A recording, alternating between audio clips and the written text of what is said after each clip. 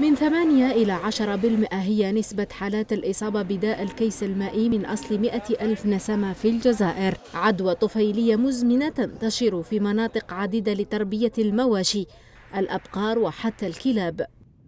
ما عندناش أرقام fiables آه، وعلاش؟ parce que إحنا ما راناش نديروا la déclaration obligatoire d'ailleurs هذه هذه واحد من un des points اللي قلنا لها le ministère la santé تعاوننا pour faire un carnet de déclaration obligatoire تاع هذا المرض هذا. c'est important باش نعرفوا mais إحنا à peu نعرفوا ما بين 8 10 في 100 ألف نسمة. وهذا كثير donc كي شفنا هذه الحالة؟ donc درنا هذه الجمعية. اختصاصيين من الطب من الجراحة من البيطري من la recherche كل شيء. تجمعنا ورانا نخدموا باش داك نطير la sonnette d'alarme ونظرا للأرقام المخيفة التي تسجلها مصالحنا الاستشفائية أصبح من الضروري إنتاج الأدوية الخاصة لهذا المرض بالجزائر وهو ما أكده الخبراء الأجانب.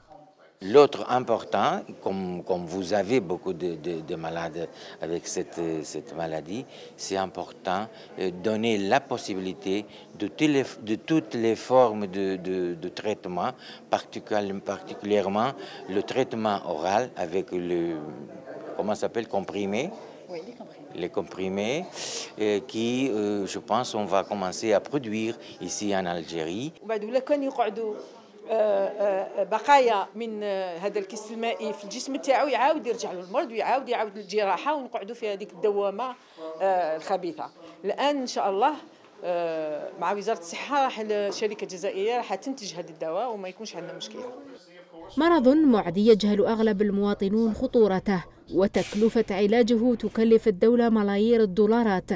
فخير سبيل لتجنب مخاطر الكيس المائي هو أخذ الحيطة ونشر التوعية.